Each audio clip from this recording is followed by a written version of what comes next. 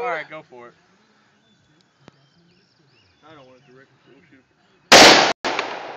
I need earplugs. oh, I'm deaf.